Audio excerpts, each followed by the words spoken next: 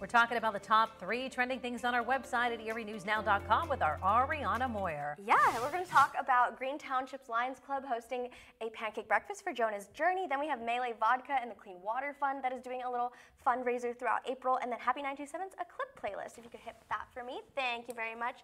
So Jonah, we talked about six-year-old Jonah who experienced a near-death experience last year when he, he collapsed in his parents' bedroom and he is seeking treatment at the Cleveland Clinic while he waits for a heart transplant match.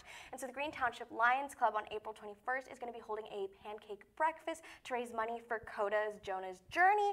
Um, and so that's going to be from 8 a.m. to 1 p.m. and you can enjoy food from Urbaniacs for $10. Oh, nice. And they're going to be doing a Chinese auction as well, and that's a $10 ticket for that if you want to participate in that as well. Excellent cause. Yes. Excellent cause. And we've been keeping track of Jonah's journey, so we will continue to monitor that and hope for the best for Our the little dude. Thoughts are with his family. And so this Meili Vodka and um, the Clean Water Fund are doing a fundraiser. So if you buy the bottle of vodka from any of the fine wine and good spirits in Pennsylvania, they'll donate a dollar. And it's all about getting clean, accessible water to everyone in the state. And this was uh, founded by Jason Momoa.